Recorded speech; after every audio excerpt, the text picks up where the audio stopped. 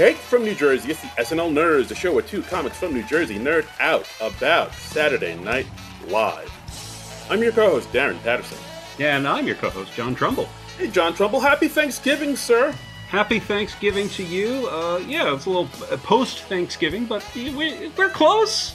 We're close. close. Yeah. This Yeah. Is, yeah. Well, this is uh, the you know the the podcast after Thanksgiving when you still got the stuffing and the turkey in your Yes. belly, Still in a bit of that food coma. Um, still in a haze. we were talking about you. You said you had kind of a, a scaled back Thanksgiving. You were telling me before we officially started recording. Uh, yeah, yeah. Like me and my family went out to uh, a diner out here in Jersey, which is a very, very Jersey thing to do. It kind of is. It Yeah. that is a very Jersey Thanksgiving. I, yeah, I just had a, uh, just I was I have no family in the area, so I quiet day at home. But then on Friday, I went. Uh, I was invited out to a friendsgiving thing, and it was sort of like eating leftover food, and and that was fun. It was a, a party situation. Ooh, So- That was that was enjoyable. very nice. Much like the uh, party situation in this movie we're going to talk about. Yeah, you suggested our movie for this week. Uh, we're doing we're doing Funny People from 2009 with Adam Sandler and Seth Rogen, and you were like, "Oh, well, we could do that around Thanksgiving because there's a Thanksgiving scene in that movie." And I did not remember there being a Thanksgiving scene in this movie at all. I, I mean, to be honest, I totally didn't remember there was a Thanksgiving scene in this movie either until like I did like a Google search of Thanksgiving movies, and this did pop up, and then I was like, Uh-huh. oh yeah, I do remember that. Yeah, I mean, it's because it, it's not a big plot point in the movie or anything. It's just a scene where they needed a big gathering of people, and I think they just needed an excuse for people to get together. So they said, "Oh, it's Thanksgiving," so it's it's kind of arbitrary. Yeah, no, absolutely. So, uh, yeah, yeah, yeah. It's so it all works out, and also plus we've we have like occasionally talked about uh, funny people throughout this uh, this podcast. It's come up Yes. here and there sporadically. We've we've gone on a couple of funny people tangents because we'd both seen the movie before. I remember I actually saw this on my birthday back in 2009 because it opened just just before my birthday. It would have been my 37th birthday. Uh, yeah, this movie came out July thirty first, two thousand and nine. Uh, it had a budget of seventy five mil, and it made seventy one mil, which. Uh, we'll we'll get into Wow. why it didn't. That yeah, it didn't wasn't. The, do as well as I would have guessed. I didn't Yeah. gross, but wait, the budget is 75 million and it made 71. Yeah, I mean that kind of makes sense because from what I remember, I, I saw this in the theaters too. Like back, you know, I saw this with my now wife, who was then my uh, fiance at the time, and I remember, yeah, that's right, I found love, and uh, I like I remember really being pumped to see this film because, uh, Yeah. for one thing, this is like around the time when Judd Apatow was sort of seen as like the golden boy of Yes. uh, comedy movies because he just come out, not just come out, but he had come out with the Forty Year Old Virgin, which was very well received. Which I liked. Huge hit. I mean, Huge. That basically made Steve Carell's career as a movie actor. And I think we basically got the American ver- version of The Office renewed because 40 Year Old Virgin was such a huge hit. Yeah, absolutely. And then after that, we got uh, Knocked Up, which was even a bigger hit. Mm-hmm. And, like, made made- Seth Rogen a star. Made Yeah. Seth Rogen and ma- and made ton of tons of money. And Yeah.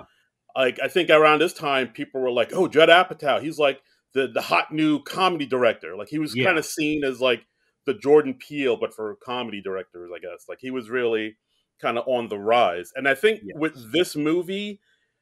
Like that kind of started to go away a little bit because like the I bloom think was off the rose a little bit. Yeah. Yeah, because like people Yeah. started to see, I guess, the Judd Apatow tropes and like you know things he goes to quite a bit. Where it's like, oh, Yeah. you're putting your wife and children in this movie too. Yes. Oh, you're making it, you know, twenty to thirty minutes longer than it needs to be as well. Oh, you're putting in all the riffing and improv scenes in this Mhm. movie too. Oh, Yeah. yeah. Yeah, and we've, I mean, we've covered. Let's see, what other we we did uh, King of Staten Island uh, a year or two back when that came out in the early days of the pandemic. That was a Judd Apatow movie, and that had some of the same problems. There's a lot of his movies have a real loosey goosey quality to him because he does a lot of improv, and so scenes kind of meander. His movies can get very shaggy, you know. Yeah, and like this is see the thing is like the stuff that he leaves in Mhm. that it's it's not bad stuff. It is funny and it is good, but it is you know extra fat. It's like it's it needs to like I, I think that's the thing with his movies that like I'm like with this movie, funny people people start to realize where it's like I, it's like if he would just cut out some stuff. Like they're the really really he just good cut out a lot of stuff. stuff, like, I, yeah. checked- I mean, I checked the runtime. I got this movie on on DVD from my library because that was just the easiest thing to do. And uh, this is the theatrical cut: two hours twenty six minutes, and that's long, especially for a comedy. That is long, man. It's a lot. It's a I lot. I mean, a, a good comedy should not overstay its welcome, and most of the, the great comedies are, are certainly under two hours, if not like closer to an hour and a half or an hour forty-five. Yeah, absolutely. Like a lot of like I don't know too many good comedies that are over like two hours. Like you're really Yeah. pushing it. That's that's like drama territory. It's yeah, exactly. It's like Oscar bait should be like two and a half hours, or if you're doing like some big epic like Lawrence of Arabia or Avengers Endgame or something like that. yeah, you have that that big of a story and that many characters. And I, I don't think funny people really need it to be two and a half hours. yeah. I think that's the reason why they say like sitcoms are usually a half hour and dramas are usually an hour long when it comes Yeah. to TV shows. Like because like a half hour is a perfect time to get your laughs, get in and get out. Whereas the drama you can draw it out a little bit more. and you know like we we both do stand up comedy and i you see that in comedy shows too live comedy shows after like an hour and a half you can just feel the audience's energy dip even if like everyone you see is killing and everyone is funny you just get exhausted you can't take more comedy after a certain point you know Yeah, no, absolutely, and that's the other reason I really was looking forward to seeing this movie uh, too when I saw it in the theaters because like I'm a huge comedy nerd. Uh, Mhm. Judd Apatow's a huge comedy nerd, and this Yeah. movie I thought was going to be, and it is in a way, it's supposed to be like his love letter to comedy and stand-up comedy, and it is for about half the movie, and then yeah. And then it takes a turn. it takes a turn. We'll get it, there. it We'll- takes a turn and yeah and i it was sold very much as like oh because like judd apatow he goes way back with adam sandler. They were like friends. They were roommates back in the day when they were like late 80s early 90s when they're both struggling comedians like before adam sandler got on snl right, and, and, uh, it, the movie actually opens up with footage that judd apatow shot back in the day of adam sandler making prank phone calls yeah, like Jerky Boy style. yeah, yeah. And it's cute. It's neat to see like young 20 something Adam Sandler. But even that goes on longer than it should. It is like I mean I understand why he he does that to sort of give it like a very personal feel Right. to sort of get this little peek into his life and his past, and, then, and it's also something stuff that you know the average person has probably never seen. But then Yes. he does that kind of throughout the movie. Like we see more uh, uh, footage of old footage of Adam Sandler uh, performing like stand up. We, we see like some old footage of Adam Sandler on Conan back in the nineties. You know, Adam, yeah. Adam yeah. Sandler at a MTV some spring break, and yeah. um, yeah. yeah, and then that, that kind of that theme kind of runs throughout the movie. Like we, But, we all but he's not playing himself. He's not Right. playing Adam Sandler. He's playing a comic in the Adam Sandler vein named George Simmons. right. Like George Simmons is basically a fictionalized version of Adam Sandler. He's a he's a comedian who's become extremely successful and he's extremely wealthy. Yeah. He's made like a bunch of sort of Adam Sandler esque movies. He's made so many crap movies, and this movie it really just kind of takes the piss out of Am- Adam Sandler and just kind of acknowledges, yeah, he's done a lot of crap. Yeah, like Because because his, his he has one of his movies where he's a merman, where he's got like a fishtail like Splash, and there's another movie where he's transformed into a baby called Redo. And right. Those are both 100% believable as Adam Sandler movies. There is no appreciable difference between the films of George Simmons and the films of Adam Sandler. And what I find amazing is after Adam Sandler does this, he basically just goes right back to making those types of movies. Yeah, well, I mean, I, I but I do enjoy that. Like, I enjoy that little part where uh, you can tell. I mean, Adam Sandler's no dummy. He's like, all right, you're, this is you making fun of me and the Mhm. movies I've made. I get it. So, like, the fact that he's able to sort of roll with it and be okay with it, and just go on to make other movies that are like these movies he just made fun of is uh it's pretty it's pretty uh wonderful. Like he's he's in on it. He's he's not. I guess he is. I it's just a weird sort of compartmentalization. Like if I, if I was a big movie star and I was asked to star in a movie that was basically saying like, "Hey, you've done a lot of shit in your career." I don't know if I would go back to doing that same style of shit. But I mean, hey, it's very successful for him. Yeah. And he usually picks somewhere cool to vacation in while he's doing those movies. So Adam Sandler's obviously figured out how to do it. Uh, yeah, like I've never seen the Grown Ups movies, but like right. I, from what I see, they're basically honestly like an hour and a half of just him and his friends on vacation. Those movies. yeah, yeah. Well, I mean, like he literally did a movie with, I, I think it was Jennifer Aniston in Hawaii. Oh and, right, and yeah. you just know he did that because he wanted a vacation in Hawaii. I want to go to Hawaii. Yeah. Or no, no, no, no, that was the Drew Barrymore thing, the the Drew Barrymore memory loss thing. oh yeah, uh, Fifty First Dates. Right. Yeah. But, yeah, but I know you want. I think it was, it took place in like Monaco or. Some... Yeah, he, like he goes to like these exotic locations now, and I mean, hey, if you can pull that off, more power to you.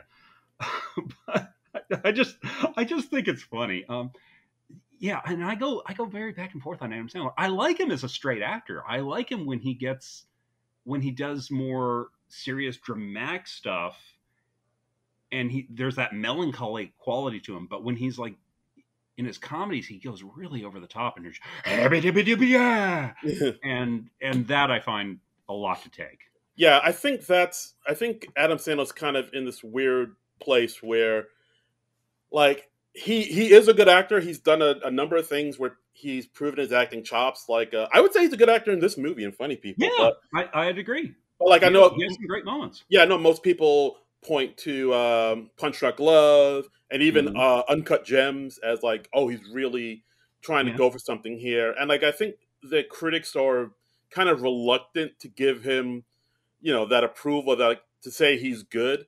But and yeah. at the same time, the movies that make money that's made him, you know, live very uh, comfortably is all the the, the shit, like all the straight the to Water Boy or the or the. Yeah. Um, uh, Hubie Halloween or whatever the or, or, where he goes back to school. Um, uh, Billy Madison. On, yes, thank you. I'm blanking on all the names today. I don't know why, um, but yeah. So uh, okay, so the the movie opens and we we basically meet George Simmons and we learn very early on that George Simmons he's diagnosed with AML, which is this rare form of leukemia, and yeah, he doesn't, you know, he doesn't know how long he has to live, but he's he starts undergoing treatment and all this. So he's he's at a crossroads in his life. Yes, absolutely. And we also see like he's he's this uh, guy who's ex- super successful, but he's extremely lonely. No wife, mm. no kids. It's just him alone in a huge house with uh his like wait staff and yeah and cleaning crew. So it's it, it, yeah, and he's in this big ass mansion. Um, and one of the things I like about this movie is it doesn't it doesn't really sugarcoat how different the the life of a movie star or a hugely successful comedian is. Where it's like, yeah, he's traveling around in limos. He is taking private jets. He's he's got a mansion that's big enough that you can get lost in, or you don't know if someone else is in the house with you. Um, and so many times they in Hollywood movies, especially, they they try to paint famous people's lives as being kind of like the life of an everyday person, and it's like, no, this is not. mm-hmm. And and I kind of like that they just weren't making any bones about it, you know? Yeah, exactly. And uh, you know, on the flip side, we get to see Seth Rogen's character, Ira mm. Wright, who's mm-hmm. this uh, struggling comedian. He works at um, at a deli counter in a supermarket. Yes, with uh, the RZA. The RZA, yeah. Again, another random cameo he, he just shows up. I mean, does a good job. He's funny stuff, and yeah, and Ira's doing that thing that young struggling comics do, where he's like trying to invite people to a stand-up show because mm. you know it's it's probably a bringer show where you have to bring a certain number of people so you get time to perform. And oh my god, those are those can be horrible because yeah, usually it's like somewhere in your first couple of years of stand-up before you're very good at all. So you invite all your friends out to see you and they they come see you and they see you not be all that good and then they don't want to see you a couple of years later when you have gotten good. Hopefully, Yeah, it's you it's kind of burn that goodwill. So, Yeah. that scene that scene felt very real. Where it's like, yeah, so real. you have to like you have to like, convince somebody, like a friend, to be like, Yeah. no, just come out and watch. I thought we were friends. Just come out and see me. And come out, laugh, and support me. And and I get it; it can be a lot because you're asking them to, you know, hey, come out to this place, pay the cover charge, do the two item minimum, do you know, laugh loud, and look for parking. And if you have kids, and, you know, drive in L.A. I mean, I don't live in L.A., but yeah, I, I wouldn't want to drive anywhere in L.A. I don't think. no. I, I mean, again, I've I've only been to LA maybe once in my life, and Yeah, from what I hear, just driving around in LA can be uh, quite something. Yeah, yeah. I mean, I I've just made one trip out to LA, and I was getting around uh, by bus and subway on that, and that was fine because I was just there for a few days. But Mhm. I, from what I understand, that's no way to really get around there on a regular basis. And just if you drive anywhere, the traffic is hell, just because there's so many people there. That's And- what I've heard. And uh, yeah, because Seth Rogen is Ira, he's he's a struggling stand-up comic. He is basically crashing on his friend's couch. Um, he he lives with Jason Schwartzman, who you probably know from Rushmore, and he's done a lot of the um the Wes Anderson movies since then. And uh, uh, what what was the name of Jason Schwartzman's character? Uh, his character's named Mark. He's the one Mark. whose apartment it belongs to, and he's like, he's like mildly successful because he's Right. he's uh the, the star of this sitcom called Yo Teach, Right. and you can tell it's like one of those cheesy, you know, CBS sitcoms that's not very good, but it pays Yeah. well, so he does it.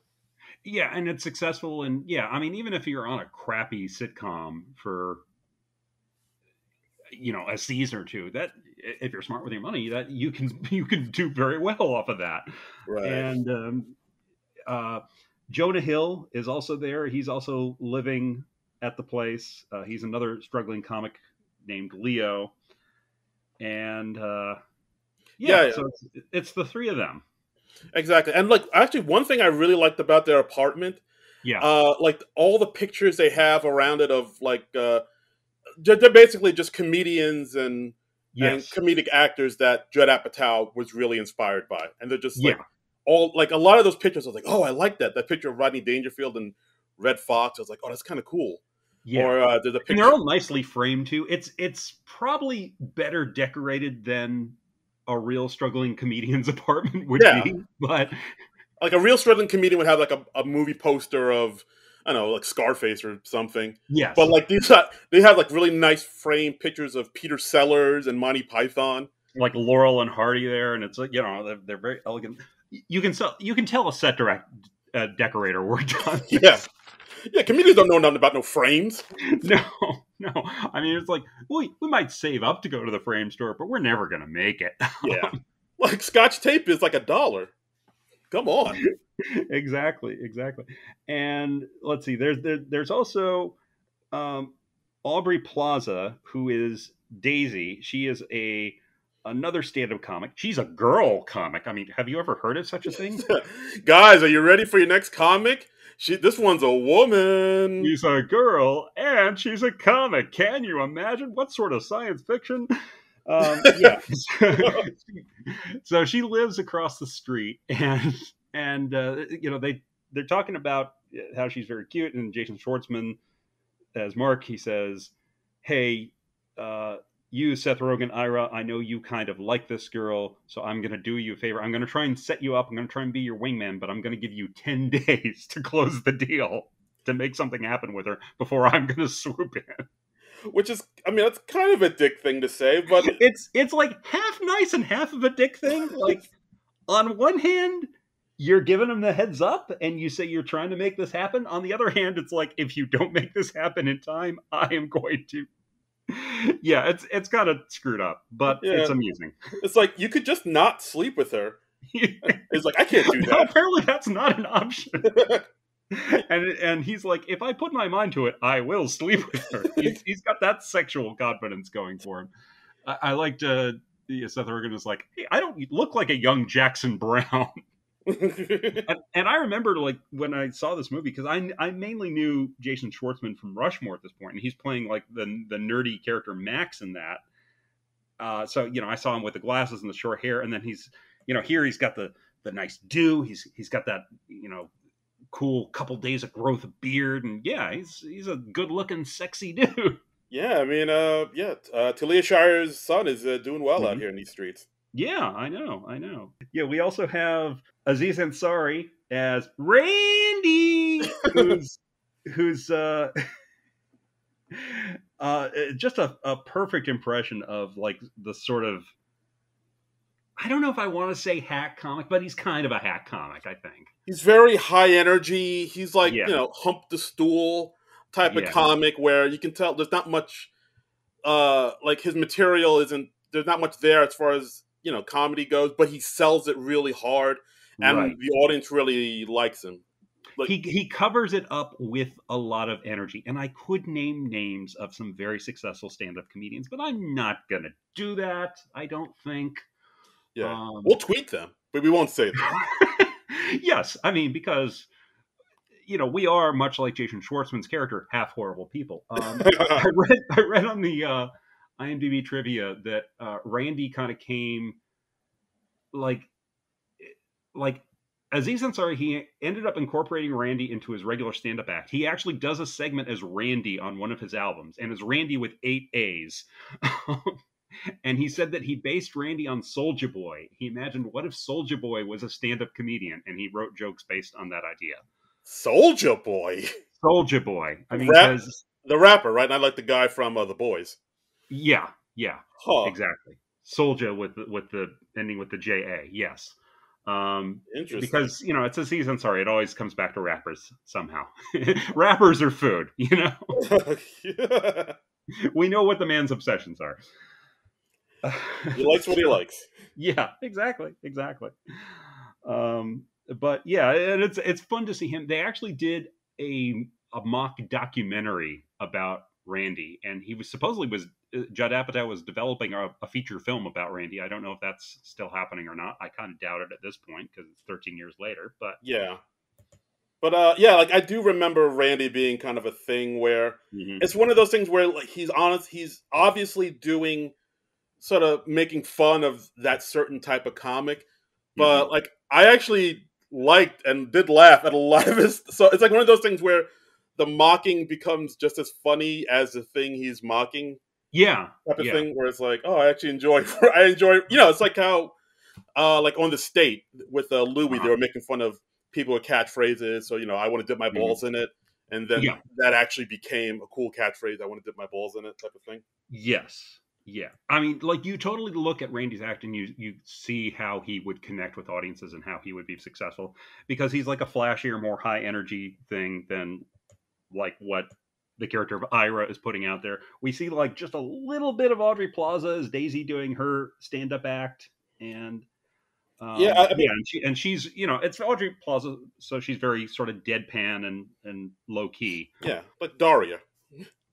She very Daria. Um, yeah, and that's something I also find very interesting about the movie is Judd Apatow actually had the actors who were playing stand-ups, including Adam Sandler, Seth Rogen, um, uh, Jonah Hill, and Aubrey Plaza. He had them all write and perform their own stand-up material, uh, and Sandler did stand up in his early days, but he hadn't done it in years because you know busy being a movie star. Yeah. And Seth Rogen started out as a stand-up comic at 13. Jesus. Um, I, I, think he had also just gotten away from it. So, but they both had experience. But Jonah Hill and Aubrey Plaza, as far as I know, had never done stand-up before. So. Right. Yeah. It was like kind of totally new to both of them. I mean, from what mm-hmm. I saw, they didn't. They seemed like, oh yeah, this this kind of looks like every a lot of comedians I've seen before. They didn't seem yeah. like to feel like too unnatural or awkward about it. I bought them both as comedians in this movie. They both were handling themselves like comedians, and I was like, oh, okay, I can see this. I I kind of wish that we had seen Daisy do stand up earlier in the movie. I I kind of wish we could have seen her in in like the montage at the beginning before yeah. we kind of got to know her as a person. But... Yeah, I mean, her character kind of, I mean, it's not super important to the whole movie. Like, I kind of wish they gave her a little bit more to do, but Yeah, I see what you mean.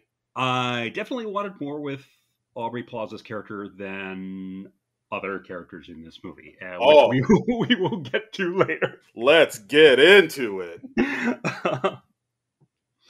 but okay, so so George Simmons, he's he thinks he's received basically a death sentence, and he and he does a drop in at the club. He, they're they're at the Improv, the the famous club uh, run by Budd Friedman, who just recently passed away. Yeah, I And, believe he's, in, uh, he's in this movie too for a little. bit. Yeah, yeah. You see Budd Friedman uh, towards the end saying, telling uh, uh, Seth Rogen he's going up in a, in a little bit, and um, and uh, yeah, George Simmons he does the drop in because he hasn't been there for five years. Because like what super famous comedians do, because they can't really go to open mics the way folks at our level do.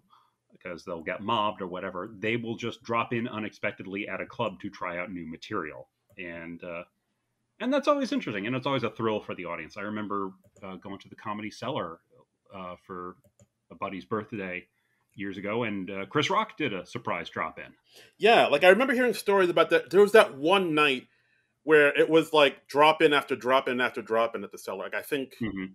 I forget what night it was, but it was like Chris Rock came in, then Aziz came in, then Amy Schumer came in, then Seinfeld wow. came in. wow It was like it was like a an insane night where like yeah maybe yeah. I think Louis C.K. might have come in too, but yeah, it was one of those things where it's like literally like five mega mega stars, Superstars. yeah, Yeah. superstars just came in, and people were like, "Oh my god, this is amazing." And you know thrill for the audience kind of sucks for the other unknown comics on the bill because they're either going to get bumped or their time is going to be cut way down. I was once doing a date uh, in the city and uh, jim gaffigan did a surprise drop in and so the, the person running the show because they want the show to end at a certain time they came to me and they were like well, um, you know, I know you were supposed to do a 10 minute set, but Jim Gaffigan just dropped in to try out some new stuff. So would you do like three minutes? Yeah, And and at that point, it's just kind of like, well, why bother? Three minutes, really? Can't even get five.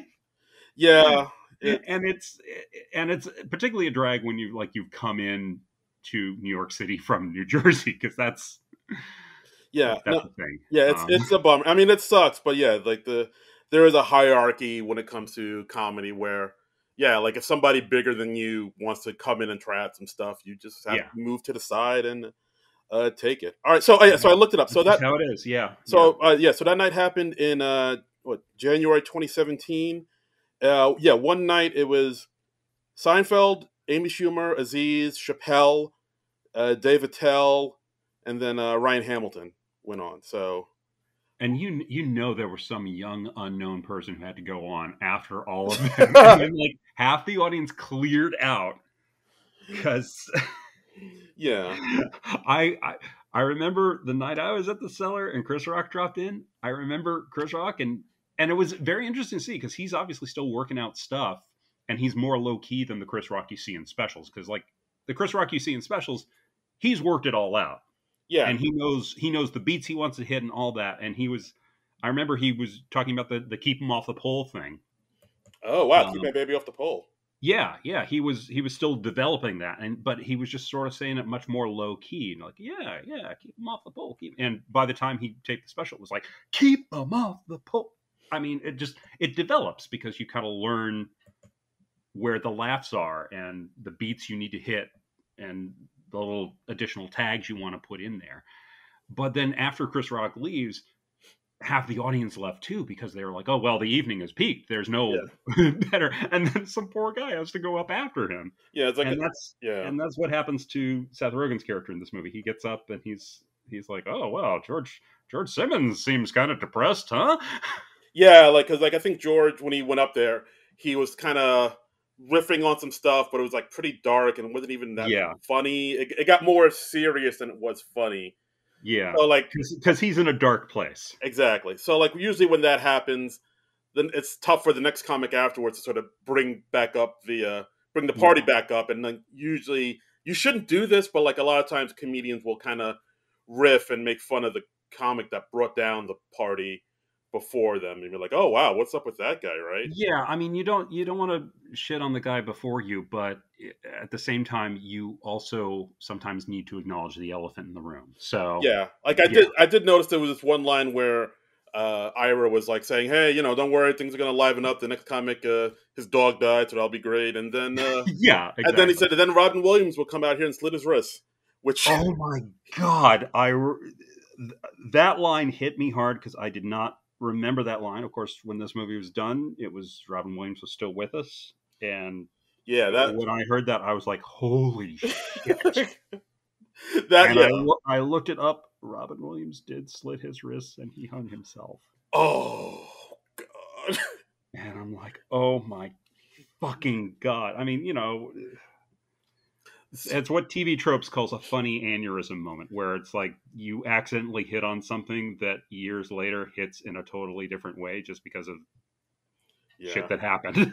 You hear that, Seth Rogen? You killed Robin Williams. Hope you're happy. oh my fucking god! Yeah. I was like, oh wow! I hope they at least edit that out of TV airings of this movie. I really hope so too.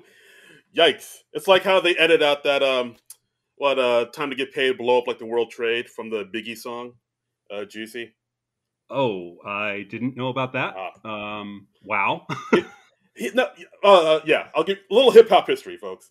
yeah, But uh, yikes, yikes on bikes. Yeah. Well, hey, th- there. I'm a big comic book guy. There are comic books where disasters happen to the World Trade Center, and so yeah, yeah. I mean, people are just going to accidentally predict things sometimes. But wow, that hit hard. Yeah, Um, that, was, that was rough. so okay, so George Simmons, you know, he sees the act, he sees the uh, Ira's busting his chops, he, but he sees him after the show and he and he tells him, "Hey, you're a good writer. I I think I'd wa- want you to write some jokes for me. I've got a corporate gig coming up for MySpace." Um, how much does that date this movie? by Oh boy, MySpace was a thing. I mean, I think MySpace was just kind of barely hanging on in 2009 because Facebook had already kind of overtaken them. Right? Yeah, because like they do have that joke, uh, "Fuck Facebook."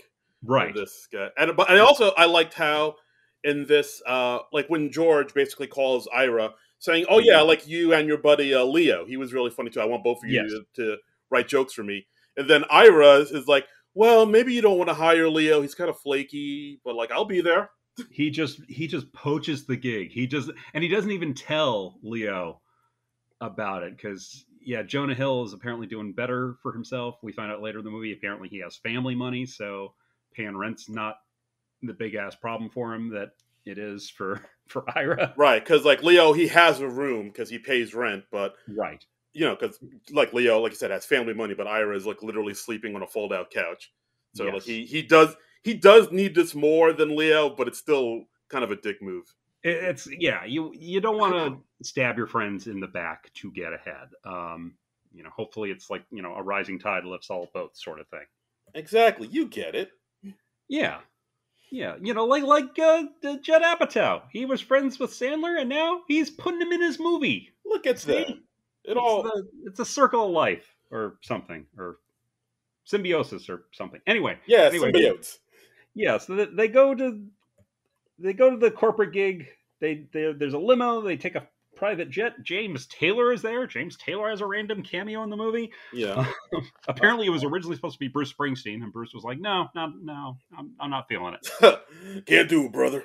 Yeah, I'll be in high fidelity. I'm not. I'm not going to do your app, your movie Apatow. Sorry. Whoa, whoa, whoa, whoa. And and George, because they see James Taylor performing, they were like, "Oh, we had to put James Taylor up early." George says, "Oh, Ira, you do five minutes before me," and then Ira, because he's very young, very green, uh, he, he he basically does all the jokes that he wrote for George and burns off all that material. I Um, mean, look, if I was that green, I I might do that too. I can't. I, yeah. I can't fault him.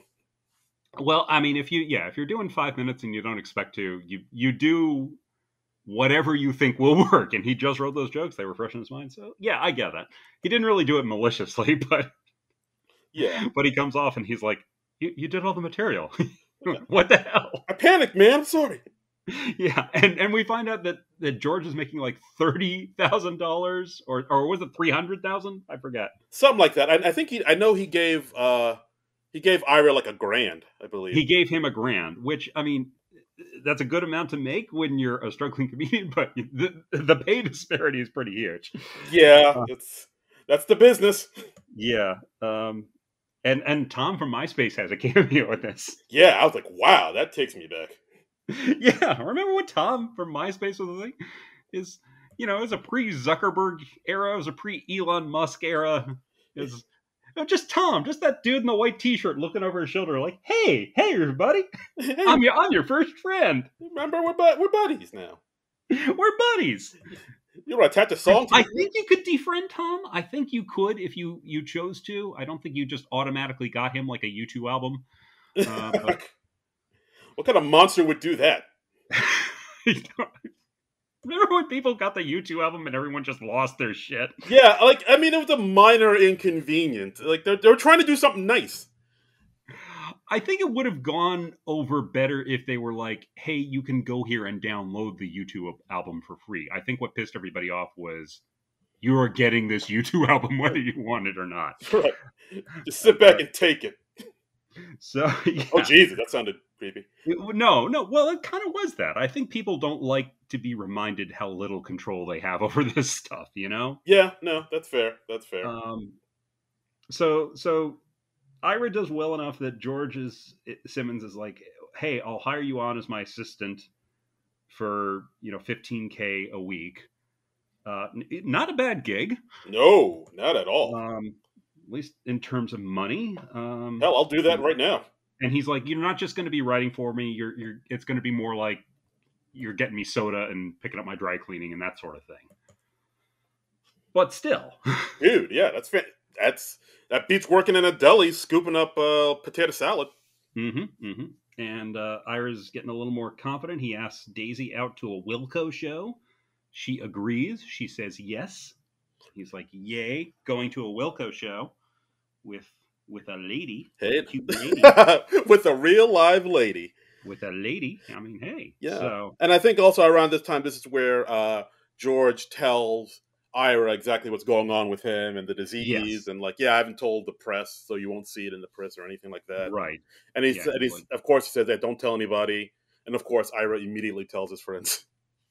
Yeah, we see it almost. It's almost a Gilligan cut where, yeah, he's he's out hiking with Schwartzman and Jonah Hill, and he and they're all like, "Oh wow, I can't believe he's dying." Um, yeah, yeah. Uh, yeah, yeah, and then of course, uh, th- th- th- there was a scene that like I really thought was really kind of captures the the essence of the comedic of the comedian, where they t- were talking about death, and then uh-huh. uh, I think Jason Schwartzman's character Mark tells about his grandfather passing and how they were in a room with no windows, and they yeah. saw like a flicker and a candle, yeah, and like how it really like you know shook him up, and then uh, Leo says, "Oh yeah, I don't don't I mean." I don't know if your, your grandpa's in heaven because you don't pass through a little candle fire to get to heaven. You, I think you don't go through flame to get to heaven. I think I, I think he's, I think, think he's in hell. I think he's in hell. Yeah, and they're just saying this, and it, it is so how comedians bust each other's chops. Um, yeah, and it really captured that. I I wish there was a little more of that type of thing in the movie because, uh, yeah, oh, okay, we find this more fascinating than the average person because we're comedy nerds and we're comedians.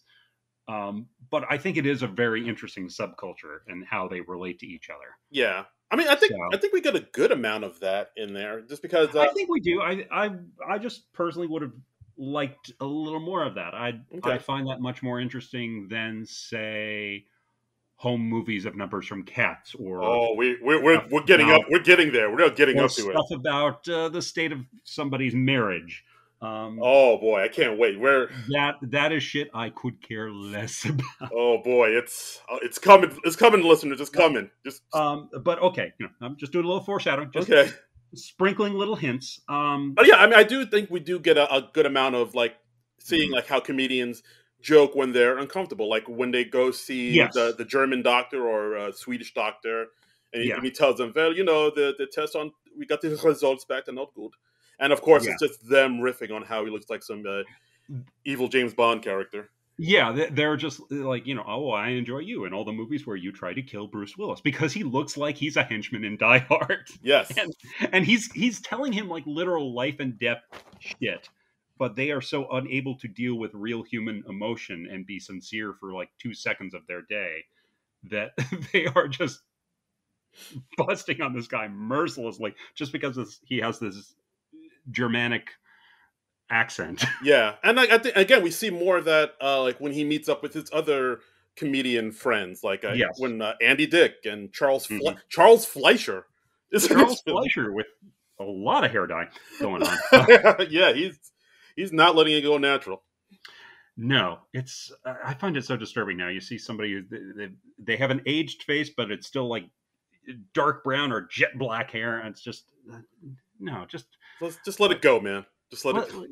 let us see a little gray. It's okay. We know you're human. Uh, Yeah, like we know your your hair color can't be the same color it was in in the seventies. Like some no, time has passed. Let's yeah, yeah. Just- like if you have crow's feet, you should have some gray hairs. That is just the way of the world. just Um, just embrace it, man. I, a, a scene I really liked was where Ira's playing George like a mixtape uh, that he's or not a mixtape, but a mix, a, a playlist that he's made for him. Tape. What's that? Yeah, okay. Sorry, old man. I'm t- I'm all young and Gen Z. I don't know what no tape is. I'm out I'm out, out here listening on the Spotify. he's it's a music mix that he's made for him, and he, and one of the songs he plays that really gets to George is Warren Zevon's "Keep Me in Your Heart for a While," Right. which is a super affecting song, especially if you know the backstory behind it. Do you do you know about that that song? Uh, yeah, I believe like that's when uh, Warren Zevon knew he was about to. He wasn't long Yeah. for this world, so he made that song as like a sort of a goodbye to everybody. he he made this this one last album um and he got like so many of his friends like bruce springsteen jackson browne uh, other people i'm forgetting i know billy bob thornton because he and warren zevon were very tight billy bob thornton played on the album um and you know there are some really rocking songs on there and there are some really and there are some really touching songs in there like keep me in your heart and it's an eerie thing to listen to because it's literally from a man who is dying and who knows he is dying and knows he does not have much longer on this earth and it, it really gets to george for that reason yeah, no, absolutely. And- ooh. yeah ooh, it's it's it's heartbreaking. yeah It really is. And uh, and then then we also yeah, there are a lot of cameos in this film too, which I also noticed. Like uh, yeah think yeah, yeah. I again, I mean, I don't know. Maybe I'll bring it up, but yeah, this. I think this is one of the things that kind of hold the movie back a bit because, Uh-huh. like, Judd Apatow does have a tendency to get a little indulgent with his films.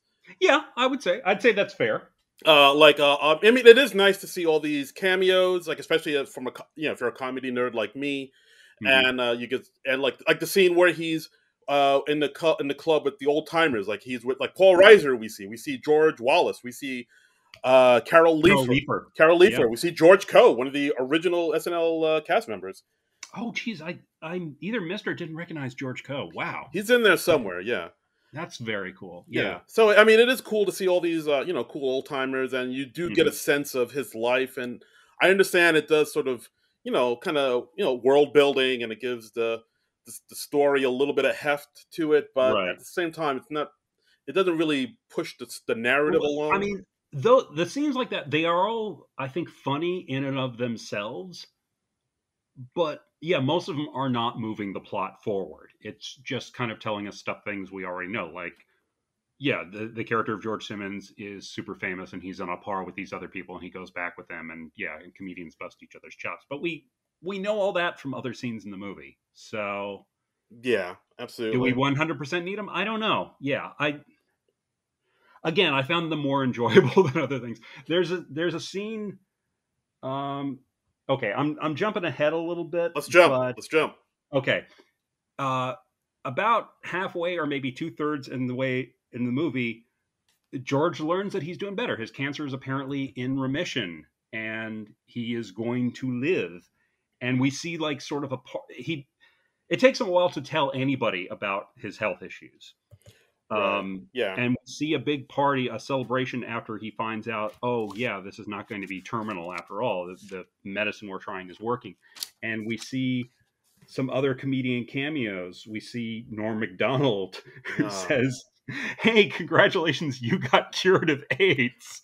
That's how comedians talk, people. And and Dave Attell, who like looks at him and goes, "You're alive." You're I, gonna I was like, "Yes, that is 100 percent how comedians." Because even even when you are celebrating a good friend of yours not dying, yeah, you you're still making jokes. You're still because that is just how comedians do it. it's how we show love. Yep.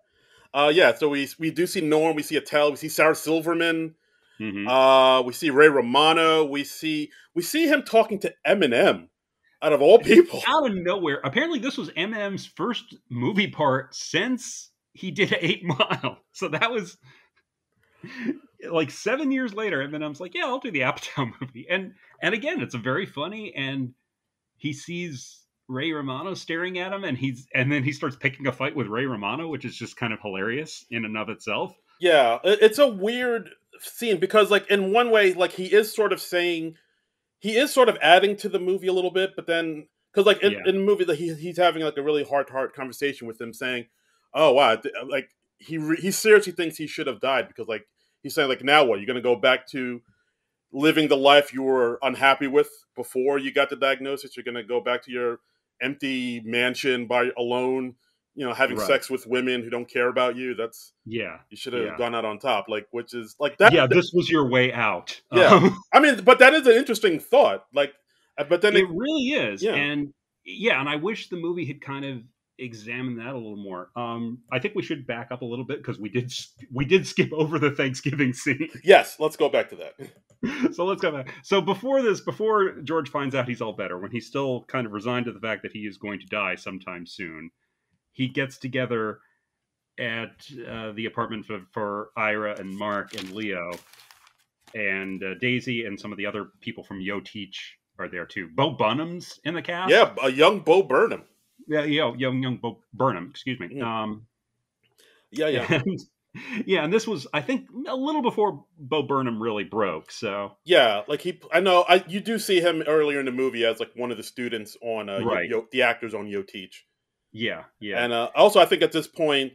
uh it was revealed that mark and daisy uh hooked up and slept together which uh yes, kind of Yes. broke Ira's heart. Like he kind of laid in, like he kind of lays into Daisy, saying, "Hey, like I, you know, you slept with my roommate. Now we I, we how, can't." how could you? Yeah, how would I? How can I? I can't get past this. And and Mark is very unrepentant. He's like, I gave you ten days. I gave you an extra eleven, and you couldn't make it happen. He's like, you had three weeks, and yeah, and like so, and Ira's really angry at him, but then Daisy is like, like this is the longest conversation we ever had. We barely know each other. Why are you angry at me yeah, for doing this? Like, and I really like that. I really liked that.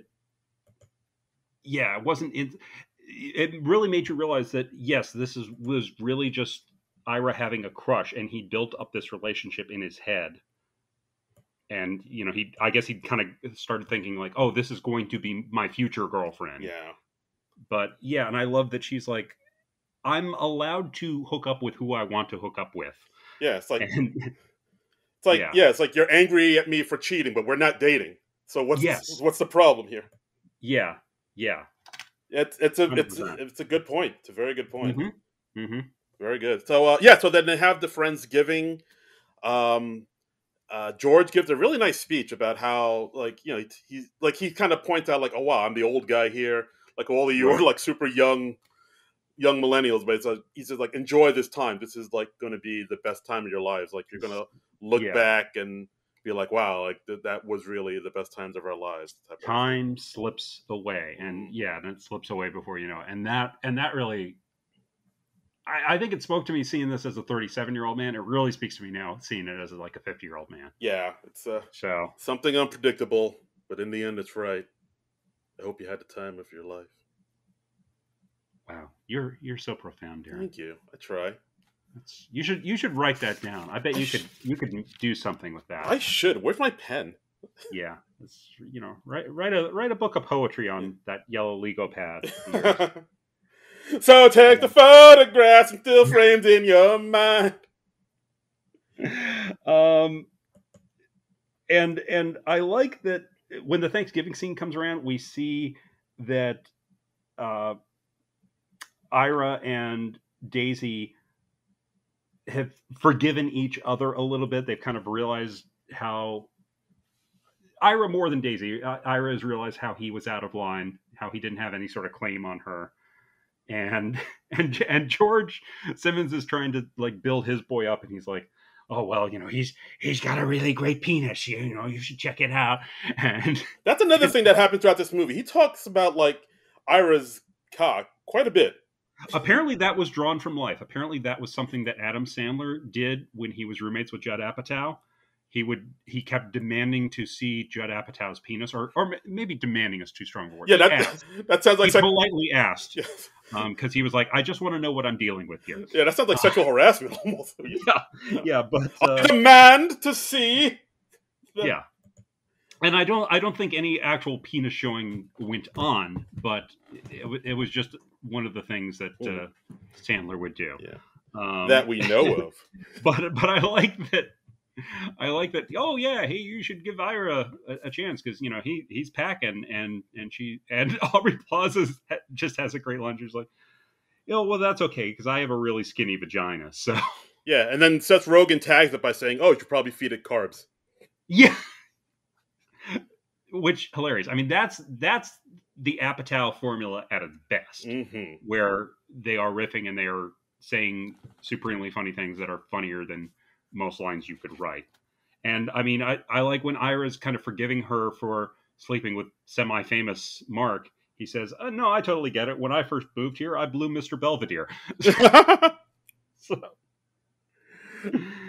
which, you know, very very funny. right. All right. So that's the that's basically the first half of the movie we like. So maybe the first half of the movie, or as what I would like to call the good half of the movie. all right. Here we go.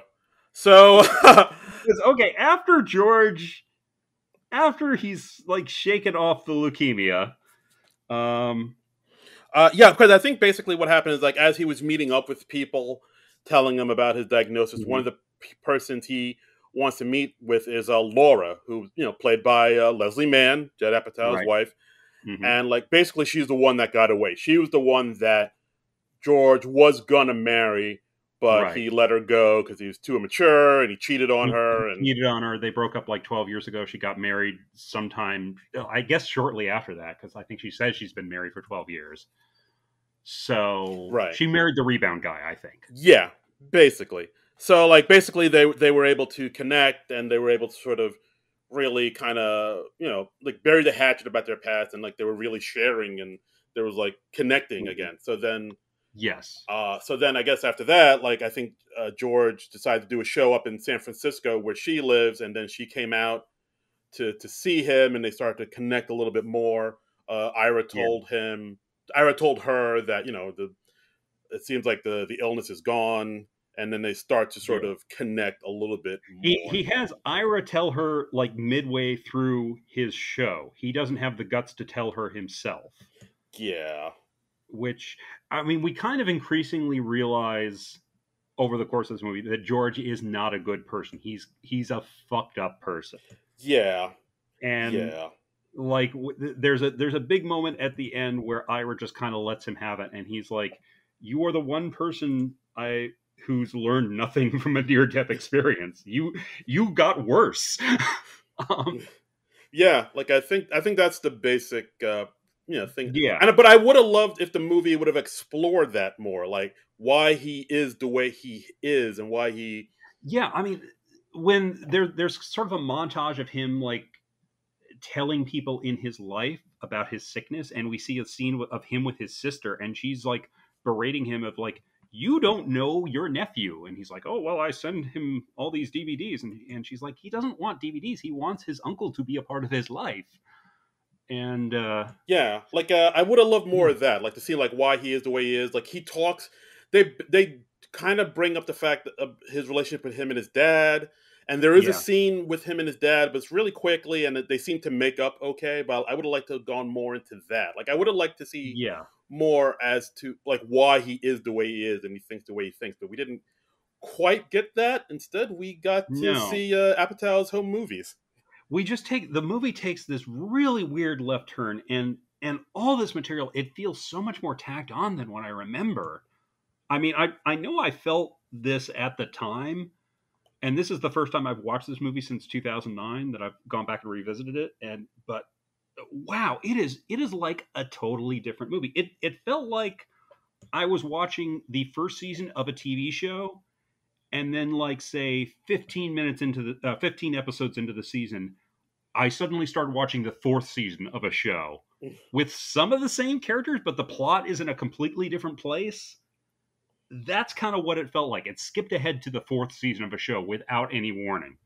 Yeah, no, I, I would totally agree. So, uh, so basically, what happens at this part is, um, I think after like there's still uh, I not Ira, uh, George and Laura are connecting. Laura invites uh, George and Ira to her house to you know see her kids Right. and stuff, and Right. they're having a good time. And um, also, and they spend a couple days there. Yeah, because like I think basically like it was supposed to be like a like a night, and um, Yeah.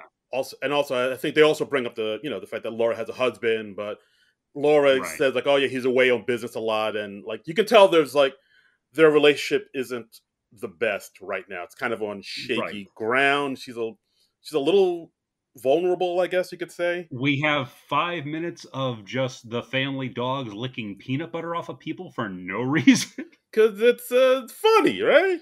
I just wrote in my notes, why the peanut butter game? Why why does that make the final cut of this thing?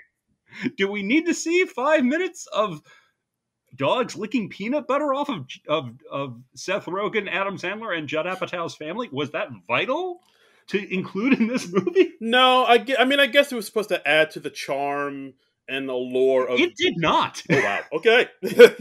I mean, I'm just uh, yeah, so we see like uh, George really, you know, having fun with the kids and the family, really enjoying it. So like they stay for Yeah. they want to stay for dinner, and at one point Right. George is like, "Hey, uh, me and Laura, we're gonna go out uh, grocery shopping and get some stuff for dinner. So uh, right. you stay here and watch the kids. We'll be right back." And, of- And instead, they go out to the guest house and they like immediately hook up. yeah, it's it's it's Bone Bone City, Bone Town. Well, it's it's not one hundred percent Bone City, but uh, we are we, we go to uh, uh, we are we are in the third basal area. Yeah, this it's Yeah. it's definitely uh, we're touching some private parts. There there are there are some oral pleasures going on.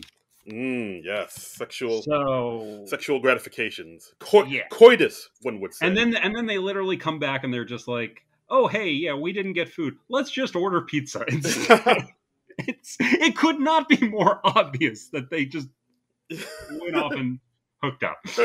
yeah, it's pretty obvious. But I also like the again. This is like another thing I I noticed like where the or I mentioned where Apatow was putting like home movies a lot in this film. And at one point after they you know uh, consummate, they're just, they're watching uh, basically Leslie Mann's acting reel.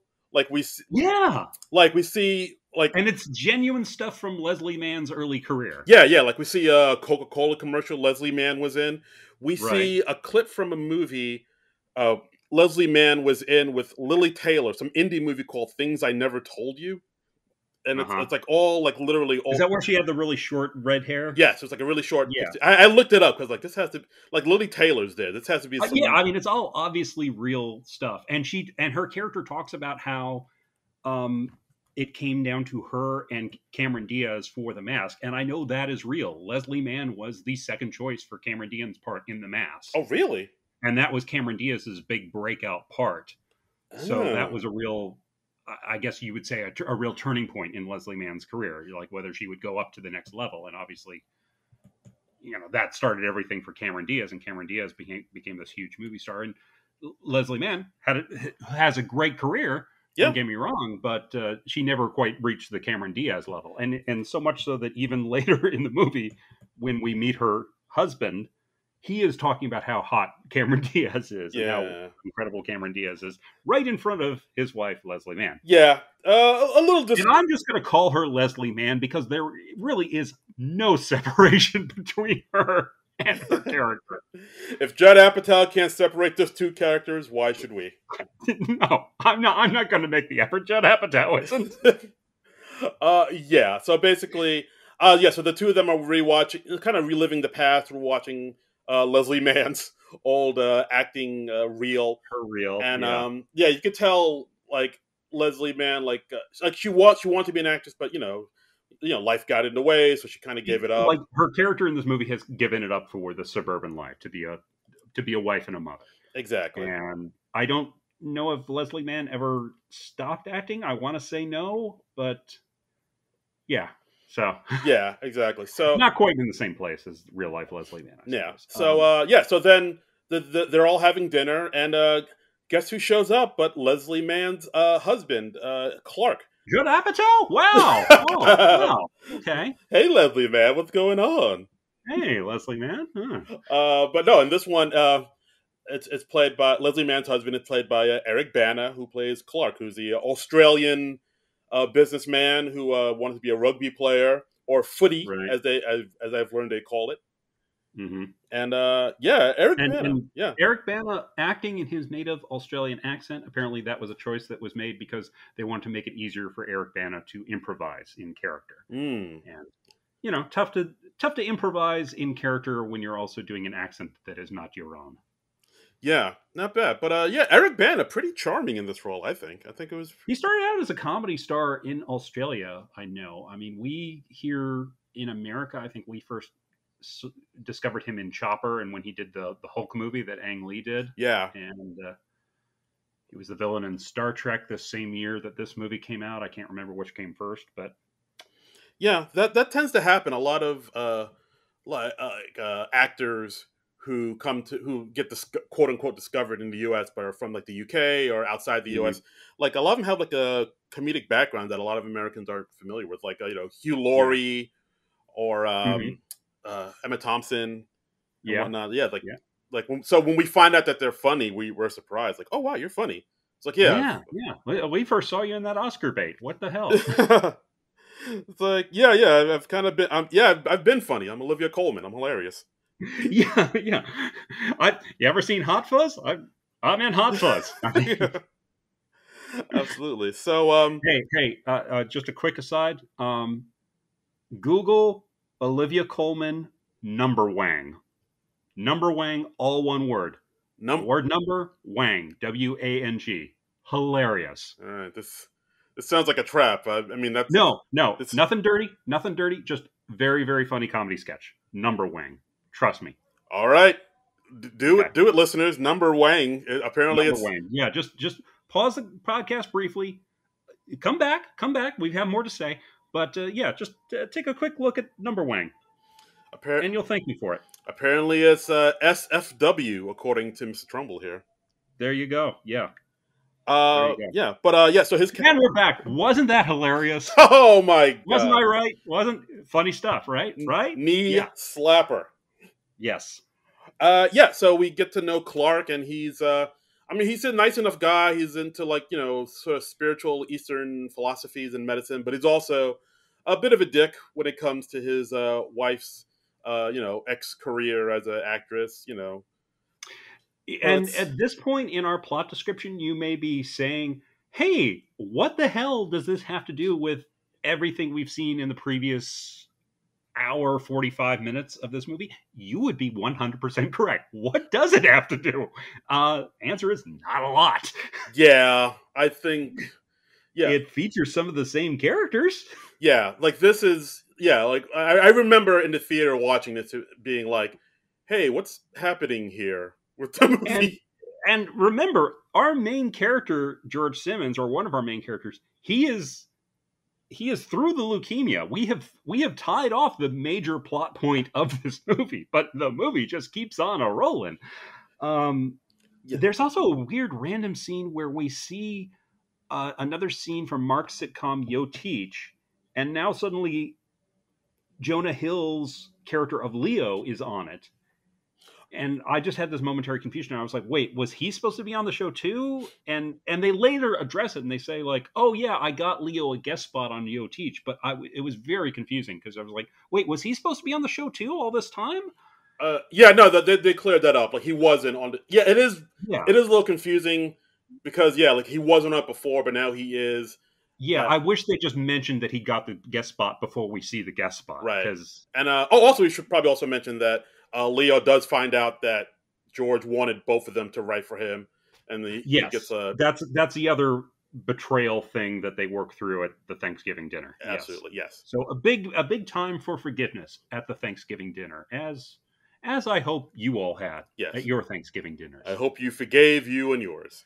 I hope you forgave you and yours. I hope you tied off all those subplots. I hope you didn't immediately lurch into other unrelated subplots directly after that, the way this movie does. Absolutely. So uh, yeah, so as the night goes on, I think they spend the night there because I think Yes. uh was I think like Ira probably had one too much to drink and he's like like oh Yeah. now it's a long drive. They say like it's an eight-hour drive from San Francisco back to L.A. yeah I looked it up I had honestly forgotten they were in San Francisco. yeah like I looked at, I think he said they're in Marin County which is like an hour away from San Francisco so they're even further away so Yeah, I, I think I think Judd Apatow just assumes that everyone comes from California, so we all have this California geography hardwired into our heads. yeah Um, we do not. as, as somebody who's only been to California once I had no idea that like San Francisco and LA are so far away from each other yeah, we, we don't. We did not have a point of reference for Yeah, this, yeah. but I think in Judd Apatow's head, he's like, "Well, of course. How do you not know that?" Um, yeah like for the Well, Judd Apatow, you've lived in Hollywood since the '90s. Yeah, So like Apatow, you're from L, you're from Long Island. Come on, don't don't do this. yeah, like for, yeah. for for their East Coast fans, from San Francisco to L.A. is basically like driving from New York to Buffalo. ah, It's it's far. Yeah, it's far. It's so far. I mean, you you have to. I mean, just to throw in a line or two, maybe beyond the oh, it's an eight-hour drive, just to give us a little context. Maybe mention San Francisco a couple more times just to fix it in our heads. You know, like sometimes I'm, when I'm talking to people from the West Coast, I say like, oh yeah, I've got to head into the city. And you say you say that here in New Jersey on the East Coast, you say heading into the city. Everyone takes that to mean you're heading into New York City because that is the city Yeah, and then but i'm talking to west coast people and they they're like wait what what city and then i have to go oh no when, when i say the city i mean new york city oh yeah, that uh, that is a thing. I didn't. Yeah, like if you're on the East Yeah. Coast, you just call Manhattan the city. You you call Long Island the island. It's just kind of like you call the jersey shore the shore the shore. Yeah, it's just a Yeah. little, like a little bit of a shorthand there. hmm Uh, yeah, so uh, they spend the night. Uh, the next morning, they're about to in the guest house in, Yeah. in the guest house. Uh, they're about to leave, uh, and I think then one of the kids mentioned that, "Oh yeah, George uh, said that he's not sick anymore." Ira told us, and then of Yeah. course that that raises suspicion with Clark saying, "Hey, what's going on here? Yeah hear what? what what's all this then yeah, you you hear me often? Oh, you're there, there then?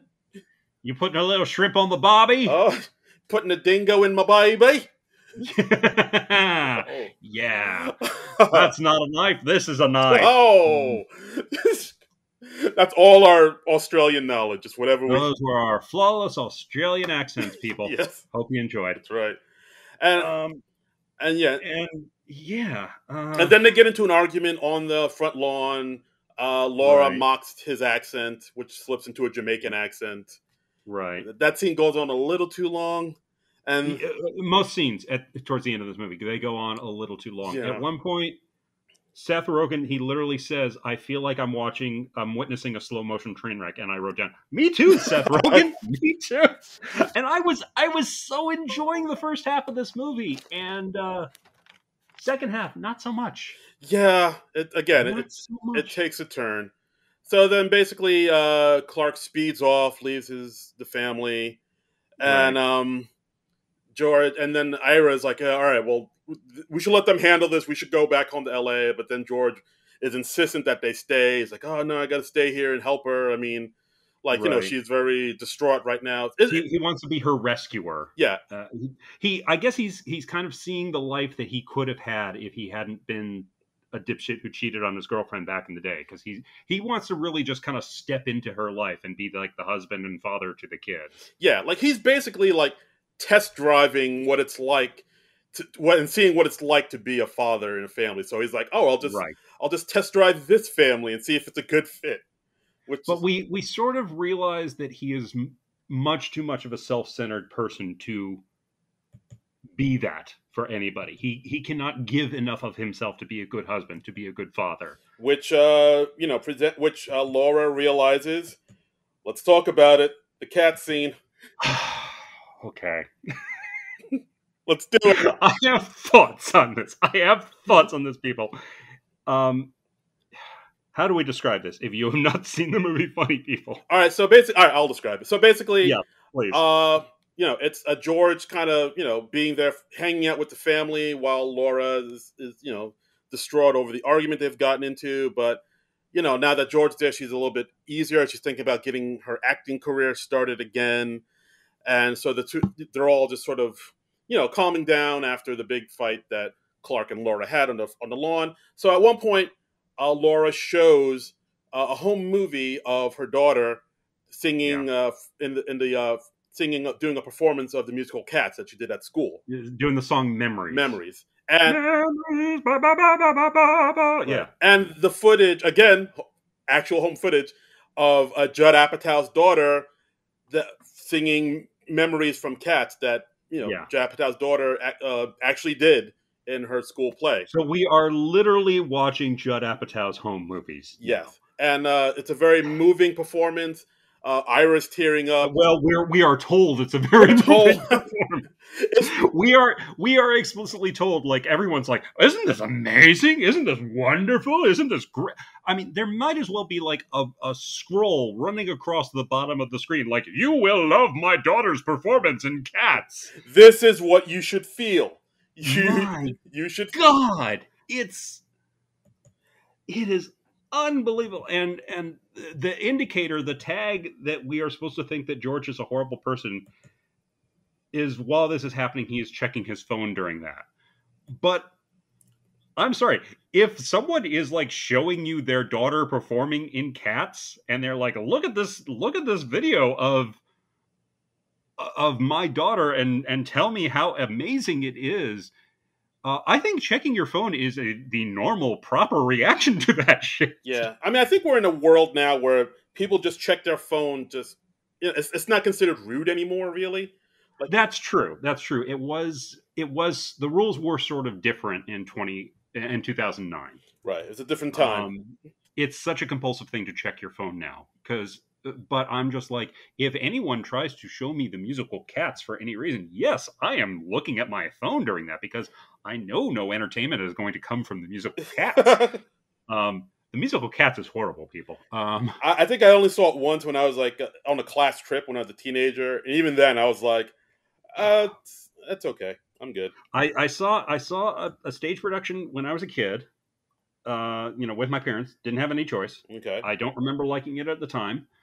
Um, and I saw it again somewhere in my 30s community theater production, but it was I I had a thing for one of the actresses in it. hey so now, all right. I was like, okay, well, I get to see her ride around in uh, 80s style spandex for an hour and a half. Um, My man. still not good. Yeah, Still, even even with that, I did not enjoy the musical Cats. So that tells you how bad the musical Cats is. it's no, no, I Uh, bueno. um and and later later leslie mann is like yelling at adam sandler about this and she goes you didn't even cry when mabel's saying cats what is wrong with you and i'm like wait okay so now the standard is not pay attention all the way through and compliment after which is a reasonable polite thing to do.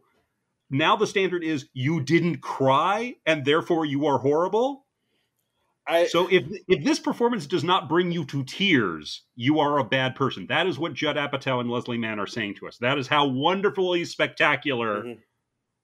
Uh, which daughter is it? It's Maude Apatow, right? yes, That's how wonderfully spectacular and transcendent Maude Apatow's singing of memories from Cats is. yes, you are dead inside unless you cry at this film or this, I- this performance. Again, I I'm I'm on Adam Sandler, George Simmons' side here. yeah, I think Check your phone all day long when somebody tries to show you that. yeah, I think George Simmons his response is, well, yeah, I saw the live performance of Cats on Broadway, and it this wasn't as good. Yeah. Which brutally frank. I mean, yeah, that's a dicky thing to say. I'm sure 100% true. But yeah. yeah, Because like, yeah, you you see stuff at like the community theater level of stuff you've seen on Broadway, you are not going to be impressed. I I saw the producers on Broadway. I saw the producers uh, at community theater level. Yeah, the Broadway version was better. yeah, I'm sorry. Your your daughter can't can't hack it in Broadway. What do you want me to say? Yeah, I mean, uh, look, you're you're gonna show me some and and some elementary school kid singing a number from Cats. Yeah, I'm gonna go to Words with Friends. that is what I'm gonna do. I think that is the the correct thing to do when you are presented with that situation. Fair enough. Fair enough. My God. And he plays he plays the number again during the closing credits. Wow, this really broke you. well, I okay, I knew I knew the home video footage was coming. I did not remember that he played the audio of it during the closing credits. What the hell, Judd Apatow? he really likes. He really loves his daughters, man. Well, okay, that's great. Judd Apatow, I love that you love your daughters. I love that you you love your wife Leslie Mann. I love that you think she's like super hot. I don't need to hear in all your movies how every other character calling Leslie Mann super hot and everyone raving about how wonderful and talented your daughters are. Yeah, I mean, I again, I think this is what this is the point where people were kind of falling out of love with Apatow because he does. I mean, this Yeah. is the third movie he put his wife in. This is the second movie he put his kids in. Right. It's, at some point, it's like, and he kept putting his kids in stuff after this. The the, the show Love on Netflix, uh, Maude Apatow's in that. Um, and then she went on. She's she's now on that show um, uh, about all the high schoolers. Uh, uh, Zendaya is in it. Sydney Oh. Sweeney's in it. oh, uh, Euphoria, she's in that. Euphoria, yeah. Maude Apatow is in Euphoria, and apparently she's become so famous from Euphoria um, that there there is now a generation of people who do not realize that Maude Apatow's parents were well known. Wow. Because there was a thing on Twitter a little while ago. They were like, "Oh my God, Maude Apatow's dad directs." Is this where we're at now? People forgot what happened ten years ago. Uh, yeah, no, I mean, I think it's just the people were just so young they did not know that Judd Apatow had this long career in comedy, writing and directing, and yeah, and I, I think it's Yeah. and I don't want to shit on somebody for being ignorant of because you know everybody discovers things in their own way at their own pace, but oh god, yeah, it makes you feel like two hundred, man. It does, yeah, and also, um, so Maude Apatow was also in This Is Forty, and Yes. she was in um, King of Staten Island too. She was, yeah, she played Pete Davidson's sister in that, and I That's right. remember, yeah, and It's I, I wouldn't. Does she get many jobs outside of Judd Apatow? Does it? Does Judd Apatow have anything to do with Euphoria? I don't believe so, but I mean, it wouldn't Okay. surprise me that she kind of got the gig because Like, was- could he be a producer on that or something? I don't know. Uh, I don't believe so, but like, it, it wouldn't surprise Yeah. me if uh, he had some type of connection. Yeah, it's just. I guess it wouldn't bug me so much if they were doing things outside of Judd Apatow projects, but Yeah, it's it's definitely it's like just such blatant nepotism. it's it's it's kind of run rampant these days. I mean, like people say that Yeah. about uh, Denzel Washington's son getting into Uh-huh. acting, or uh, Yeah. like uh, Dennis Quaid's kid, Jack Quaid. Is his, Yeah, oh yeah, yeah, yeah. You know, uh, yeah, he's on, uh, and you know, I I liked him on Star Trek uh, Lower Decks, and he's also on The Boys. yeah. um, um, or uh, like Uma Thurman's and uh, Ethan Hawke's kid, Maya Hawke. She's like in- Maya Hawke, yes, Like, it's- yes. Uh, Laraine Newman's uh, daughter, whose name I'm blanking on, she's on that show uh, Hacks. yeah, uh, Hannah Einbinder. thank you, thank you. And uh, I mean, it happens, and I I totally get why if you're growing up in Hollywood, you develop an interest in that, and then you have those connections and you exploit those connections. But it's just like, Yeah, it's definitely like, wow. All right, we we all we all know what's happening here. We all we all know how you got this. You, you just had you had an in that a lot of people just don't have. Yeah, yeah, and but I mean, this is when we're literally watching Judd Apatow's home movies of his daughters, and is basically everyone is just like, "Oh my god, that is so amazing," and I'm like, "Is it that amazing? Is it really?" That just, It's it just irks me. no, I I yeah, I I, I so I so I gathered. and then he uses the audio in the closing credits. That was, oh my! I, I, I had to text you during that. I was just Yeah. like, I can't. I Yeah, can't. you He's playing. He's playing the audio during the credits. I can't. Yeah, you were beside yourself. You were like, "I this." All caps. I'm texting him in. It's like this motherfucker. oh boy. Uh, so uh, on with the movie. So, uh, yeah. So I, I think at this point, uh, I think, I think Laura. We're close to the end. I knew this was close to the end. We're, but I lost all track of time by this point. I was like, I'm either a half hour from the end or maybe it's two hours. Maybe time has reset somehow.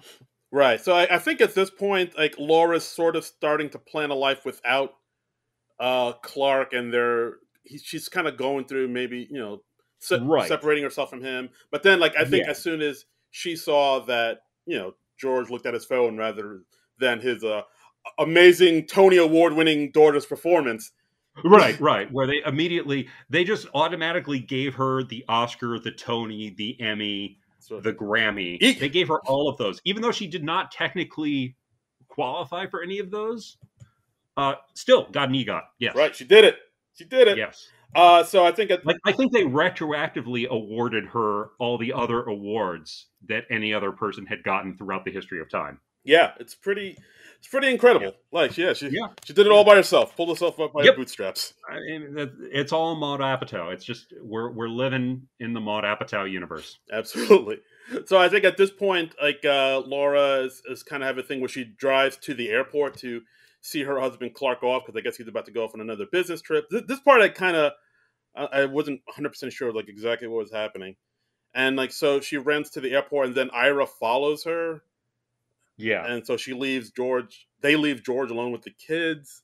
yeah, and then Laura and Clark have a heart to heart about like, yeah, I've I've been you know cheating with seeing other cheating with other women, but like that they don't mean anything to me. I really want to be with you. I want to be us to be a family. right. And they have some. They have this like re- reconciliation, which They work it out, and then Ira arrives, and he inadvertently screws it up again. yes, exactly. And then like that's when Laura admits that him and George had a fling, Yeah. but it wasn't anything like he just went you know went down on her, and Yeah. of course that's that's enough to make any uh any man angry. You know, albeit an uh, Australian rug- former rugby player angry. So Right, right. Well, yeah, it's a, it's that caveman part of our brain. You know, it's the same as how Ira was reacting when he found out that Daisy, the the woman he liked, slept with his roommate. You just, yeah, you you just your initial reaction is just like, ah, ah, how could you? No, no one can have you but me. Um, that's exactly it. yeah, And so uh, they all race home. Uh, uh, Clark has it out with George. They're about to fight on the lawn, but of course, George is a comedian, and comedians don't fight. So he's it's, yeah, yeah. He's like, oh, fight, fight, and he's like, I don't know how to fight. I'm a comedian. That's cute, and that's I think that was even in the trailer. It's it's a cute line. It's a cute moment. yeah. Um, so it's like it's this really, really weak fight where like he like Yeah. Clark is trying to fight him, but George is like running away, and then Ira Yeah. kind of hops on top, hops on, jumps on the back of him, and you know it's I think I, I did like at the end the movie is like zigging when you expect it to zag. Like I like that Ira literally gets to the airport too late and screws up the situation more. that I did like. Yes. I mean, I, I think that's cool. That's funny. I would have liked it a lot more if they'd cut out the fat before that. Absolutely. Um, And uh because it's you know. yeah, at, at the length the movie is in now, it just gets exhausting to watch. it does Um, yeah, it's the, the the returns are diminishing at this point. Yeah, they really are. They really are. And uh yeah, so basically like they have a fight, then they they break it up. Uh George is like uh, you know, just tell talks to Laura saying, "Tell Clark you're going to leave him, you want to be with me." And Laura's like, "No, this is my family. I don't want to break up my happy home for you. You didn't even cry during Yeah, now all of a sudden it's a happy home. yeah, I it's a yeah, it's a weird thing they do here where it's, it's like a weird, like I, I guess it. I guess he's saying that like both George and the, the Leslie Mann character were were buying into the fantasy of oh if I could only be with this person I it would fix all my problems and I wouldn't have to deal with all the messiness of my current circumstance. exactly, yeah. I, I think that's what they were going for. That's what they were going for, definitely. yeah. But then like the reality kicks in and Leslie's like, "Wait, no, that's the, that's ridiculous. He's still the same person he was before. right. And that's just you know grass is greener type shit. and he's also yeah the and and my husband is this person that i have all this history with i have two daughters with i really have to see this out and do the best i can and and try to make this work Absolutely, yeah, and that does make sense. I just wish we could have. I just wish just just wish we could have gotten there a little bit sooner. i wish we could have gotten there a lot sooner i wish we could have gotten there 20 30 40 minutes sooner Right. So uh so on the they take so uh George and Ira take the drive back to LA. Uh you know, the, Yeah. the two of them have a fight like George Right. fires Ira saying, "Yeah, you're you're you're Yeah. through."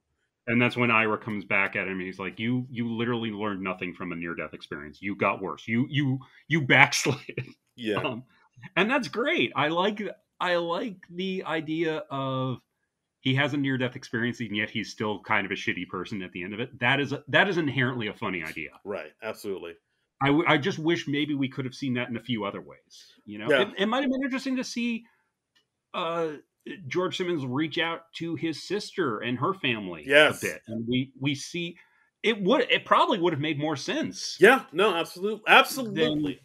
Yeah, Uh, yeah. So then, uh, you know, uh, so basically the two of them split. Uh, Ira starts dating Daisy. Ira starts getting better as a comedian. He's getting up more and more at the improv. He runs Yes. into George, who's like partnered up with Randy. Randy. with eight A's. Yeah, And uh, yeah, and then George kind of hangs back and watches Ira set. We see Ira got his job back at the deli counter. And Okay. All right. So, first time I watched this movie, that didn't bug me. I'm like, oh yeah, okay. He lost his his cushy assistant job. He has to go back and you know still make a living, earn a little money. So he goes back to the deli. That's. But then I thought about it. Okay, we know from earlier in the movie he's making fifteen thousand a week at the deli. yeah, Okay, we have a Thanksgiving scene later in the movie. They say uh, it's December because you know we're after Thanksgiving. Okay. So let's say he works for George for maybe two months. okay. That's reasonable, right? Yeah. That's It's probably a, a two month time frame for this movie. Yeah. maybe three. I don't know. Where it's a little vague, but um, you know, because we're in LA, they don't have weather. Um, but if he if he's making fifteen thousand a week and he worked for George for two months, he made hundred and twenty k as George's assistant. huh. I know he lives in LA, but what the hell? Why do you have to go back to the deli right away? I didn't even think of that. I didn't think of it until this time. I mean, maybe maybe this is supposed to be like a year later or something, but Huh. Yeah, like what? and I know LA is expensive, but is it but you can't you don't have like a few months cushion with with over 100k to your name? Yeah, I mean, at the very least, he could have gotten his own place by now. You would think, right? Huh. You know, find your own place and pay that rent in advance. I didn't even think of that. Wow. Yeah, that does. I didn't think of it until this time, and then I just sat down and I did the math. I was like, wait, you're making 15k a week. A week. That's okay, two weeks, you're doing pretty well Yeah, for a year. you know? doing a okay, my friend. and, and this is in uh, 2009 dollars. I didn't add up what it was in, in 2022 dollars, but I'm like, Jesus, how do you have? I mean, does Ira have a huge cocaine problem that we? That might know be- Is that how Seth Rogen lost all the weight? That's the part they cut out. Like his, that's the part. That's the subplot that they cut out. his, Seth Rogen, his character has a huge cocaine problem. He, he's, he's riding he becomes a heroin addict. He gets a pill addiction. riding that white horse, He's he's he's chasing that horse. that the China white all day, baby. There's a there's a whole Trainspotting subplot that they just cut out because we we needed more time for the cat's numbers. Yeah, but yeah, that does make sense. Like he should, he shouldn't be, he should be okay for a little bit. Like I don't know, he don't, Right. I mean, you can float for a few months on 120k. you don't have to go immediately back to slinging pasta. At Yeah. but I don't know. I guess it's the, I don't know. I don't know. Maybe he just has a good work ethic. I don't know. But that really struck me this time. I was like, wait, why are you right back at the deli? so uh so yeah so he's back at the deli counter uh george uh visits him and said hey do you mind can we talk for a little bit he apologizes. He says, "Yeah, you know, I know my body's better, but my brain has a ways to go." Yeah. And then he actually says, "Yeah, I saw your set. It's really good, and uh, you know, I have some tags for you if you want them." Or like, I like, Yeah, I wrote some stuff for you because early in the movie, I think during the MySpace party with James Taylor, um, uh, Ira asks George, "Oh, hey, can you look at my stuff or watch my stuff and and give me some advice or or?" And and George is just like, "No, I'm not going to write stuff for you. That's not how this works. You write stuff for me." yeah, Uh, so it's a it's very much a one way, one sided relationship. And Right. so now we see George reaching out as a person. So he's grown a little bit. He's grown marginally. yay, growing marginally. That's Yeah. So, so that's pretty sweet. So uh, yeah, that's a and that's how it ends. Uh, it's a nice moment to end it on. I It is. I, I like that ending. I do, but uh, and uh, yeah, I think I still have the same feelings about the movie now than I did then, where Yes. I was like, this. I don't know. Again, this is like half of this movie is really good. I like. I still like the movie, but it's Mhm. so close to me. It's so close to me loving the movie, uh, but doesn't quite get there because the second I- half. Yeah. See, that's that's why the stuff in the back half bothers me so much because I like the stuff in the first half so much more. It it worked really well, and then it just takes this weird turn that it just takes the movie down a few notches, and it's a drag because it's so close to being a a really cool, interesting movie, but it's just too damn long. And I really think, I think if when you get as successful as like a Judd Apatow did, you're allowed to get really, really self indulgent. Yeah, I mean, I know people have brought this up to his attention about like, yeah, you kind of Yeah, goes on long, but he uh, apparently he just, that's just how he likes it. That's just how he he does it. It's just like, yeah, that, that's just what I do now. I just I put in as it's my movie. I'll do what I want with it. And uh, I mean, I, I Yeah. get it, but at the same time, Well, I'm I- like, ah, he's he's kind of become like an 800 pound gorilla in Hollywood. He doesn't really have to edit his movies down to like a two hour runtime anymore. And I I see that with Apatow. I see that with with Quentin Tarantino certainly. Yes. like Pulp Fiction hit, and like suddenly all of Quentin's movies are like three four hours. Do they need to be three or four hours? No, not really. Like I, I see that with Stephen King. Um, I mean he he hit big, and then you know he's writing all these one thousand page novels. I, don't know. Like you just get a lot of this thing where it's like everything you do is genius. So Yeah, you know, like Aaron Sorkin, like his movies recently have sort of Uh-huh. have done that too, where it's like this.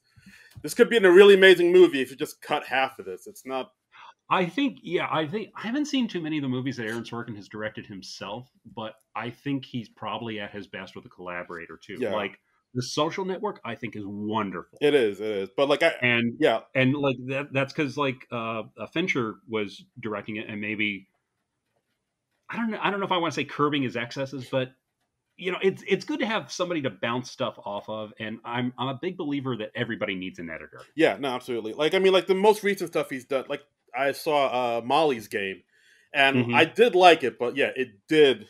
I mean, it's two hours and twenty minutes. I was like, this, this, this, Right. this feels too long. And I haven't seen his other ones. Uh, you know, the Trial of Chicago Seven, or I still have to watch Being the Ricardos. But like, they all kind of felt this.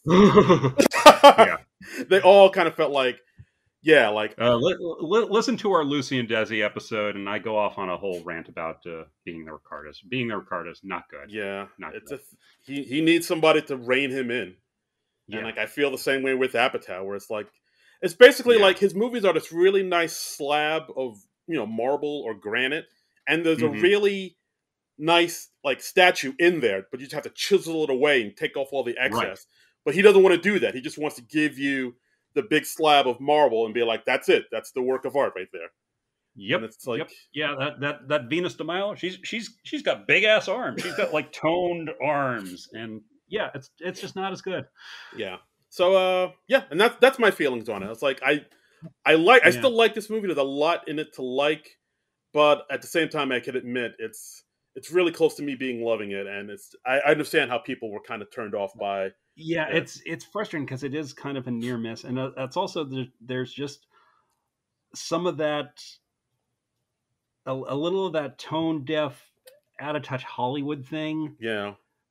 Happening like you know with the you you know how could you not cry seeing my daughter sing this song from cats? I i know i keep coming back to that but i Yeah. can't get over it. And, like later when he did this is 40 um where where paul rudd and leslie mann they're reprising their characters from uh knocked up and we we get a little more of like their troubled marriage. And i remember in that movie a big thing is like they have money problems and that like his uh like her her her store is going under and his he's having problems with his uh his music business. He did something in the music industry i'm forgetting what. But they're having all these problems and then in the middle of the movie there's a there's a bit where they just fuck off to a spa for a weekend. Yeah. and i'm like wait you're having money problems. How how do people with money problems who are potentially losing their house how do they fuck off and go to a spa for a weekend Yeah, like uh, I, I, wow, I totally forgot, forgot about. Again, this is Yeah. Get This Forty is another one where I was ready to really like it because like I was close to turning forty, so I thought it would speak to me, and yeah i was i was right around 40 when that movie came Yeah. out too yeah and it did not because yeah, it's like that where you talk where they talk about how they're having money problems, and then they cut to a scene where the entire family is jumping on a giant trampoline in their in the in the spacious backyard of their million dollar Right. home, Right. And I'm just like, and I was like, the fuck. I you just look at that and you just shake your head because I'm like, okay, you've been rich and famous for too long. You you're living in that that Hollywood bubble and you don't really know what struggling means anymore because Yeah, you've just been so successful for so long. yeah. We all don't we all don't have trampoline money, my guy. No, no, yeah, the bouncy houses cost money, damn it. I can barely afford to rent one. you know, and she's, you know, the- like, and there's Megan Fox running around as a yoga instructor, and and people are gushing over here, but but somehow there's still stuff about how super hot Leslie is. Yeah, I mean, look, I'm, look, look, look uh, Leslie Mann is very attractive. I'll say that. she is no, she is a, a, a beautiful woman, but. But yeah, it's, But, but but come on, when you put Megan Megan Fox in the same movie as near anyone else, she just looks better than most humans. yeah. I mean, she is just like unreal. yeah yeah that's just like you once in a while you see a human being that is just so spectacularly beautiful you are just like tongue tied Hamina, hmm. hamina, how wow. and and yeah and megan fox is one one of those people and Yeah. you know and hey there, there are there are dudes like that too like you know paul rudd spectacularly beautiful human being Easy on the eyes.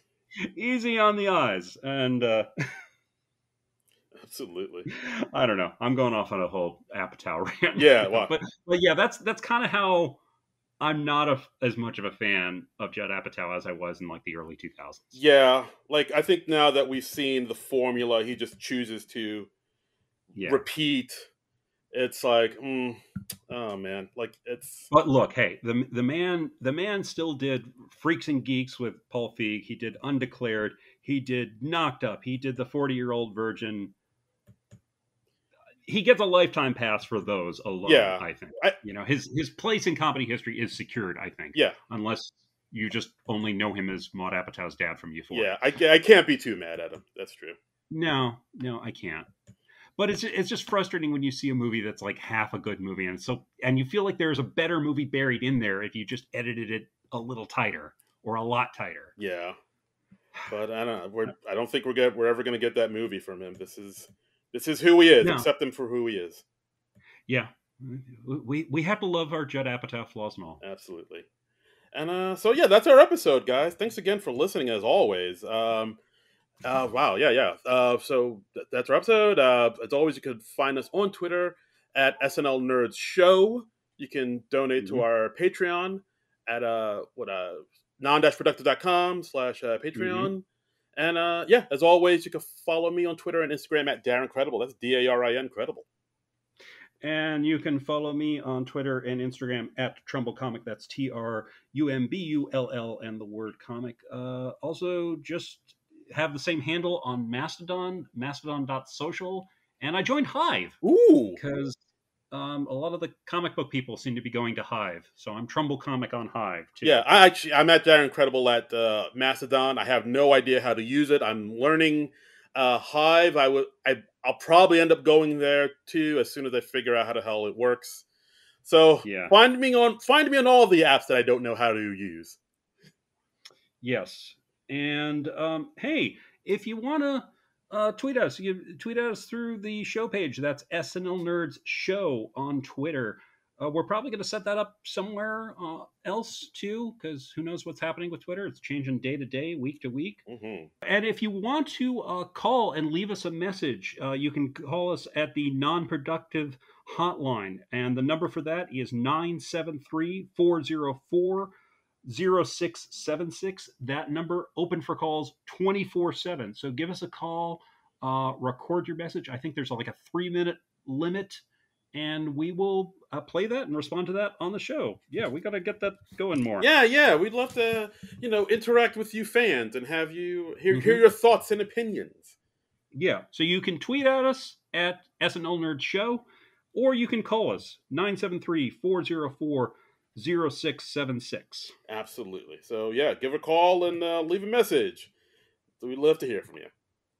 Yep. And uh, next week, SNL back live as they are wont to do. It's back, baby. Mhm. And uh, yeah, so join us. Our, the guest host will be uh, Keke Palmer and musical guest uh, Jersey's own SZA. SZA. hmm And that's all we know right now. Yeah. We don't know who the other hosts for December are going to be. We're going to find out soon. I'm sure we're going to find out this coming weekend, if not before. And it'll be interesting. Yeah, the, the, the host and musical guest selection has been kind of funky. To say the least. Yeah. But uh, I know this one people are definitely looking forward to because people have been kind of rallying to have uh, Keke Palmer host for a while now. So, and uh, the I know SZA's a very popular artist and she has a huge fan base. So I, I think I think this one's going to be good. I, I, got a good feeling about this one. Fingers crossed. Yeah, it's this season's been a real mixed bag, so we will see. Um, yeah, I don't know. So I don't know either one really well enough to predict to what to expect. So I'm just gonna I'm just gonna tune in cold and, and let it wash over me. Yes, So- just just be a part of the magic. Be a part of it. Mhm. Uh, yeah. So, and that's our episode, guys. Thanks again for listening as always. And um, hmm, how do we usually end these things? Rate us, review us on uh, Apple Podcasts, the podcast catcher of your choice. We always like getting those. And uh, yeah, so we'll be back next week with uh, Keke Palmer and SZA. But until then, no, down. A new has begun.